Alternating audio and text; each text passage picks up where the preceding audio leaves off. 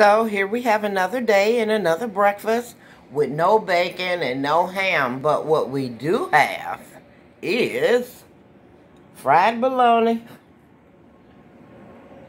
with jelly and cream cheese on whole wheat toast and a nice cup of hot coffee. I'm not buying no meat. Now I go grocery shopping tomorrow. If meat is on sale, then I'll buy some meat. But other than that, I'm not paying that kind of money. Now, what I do want to go buy is a whole turkey breast. I'm not a turkey fan, but I can do turkey breasts. I can do turkey salad, and I can do turkey sandwiches.